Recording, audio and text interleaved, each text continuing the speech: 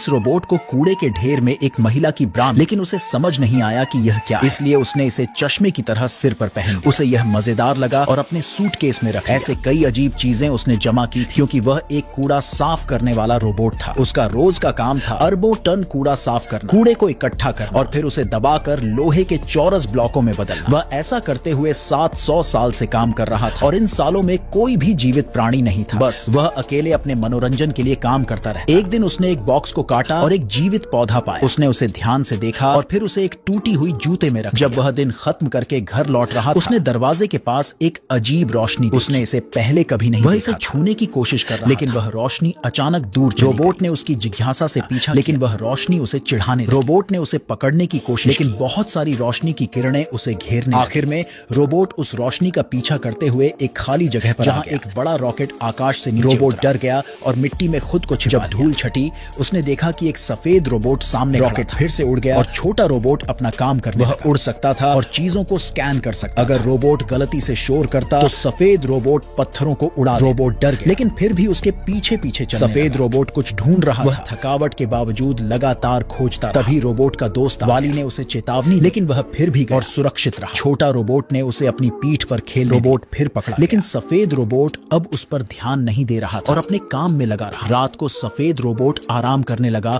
और रोबोट उसके पास अगली सुबह सफ़ेद रोबोट जागा तो उसने एक प्यारा नकली आदमी इसके बाद सफ़ेद रोबोट फिर से खोजने लगा। उसने हर जगह देखा लेकिन कुछ नहीं जब वह निराश हुआ तो वह बड़े चुंबक से चिपक और गुस्से में चारों ओर आग लगा। रोबोट भी चुंबक से चिपक वाली डरते हुए उसके पास गया और धीरे से उसे अपनी ओर खींचा। क्योंकि वह अपने साथी को बहुत पसंद करता रोबोट की मूर्खता देखकर सफ़ेद रोबोट पहली बार मुस्कुराया और अपना नाम ईवा बना। लेकिन तभी एक गंभीर परिस्थिति अंधेरे में ईवा ने वाली को पुकारा और वाली ने उसे अपने घर ले जाकर अपनी अनमोल चीज़ें दी। लेकिन ईवा की शक्तियों के कारण रोबोट का घर लगभग नष्ट। अंत में रोबोट ने उसे अपना नया पाया हुआ उपहार दिया।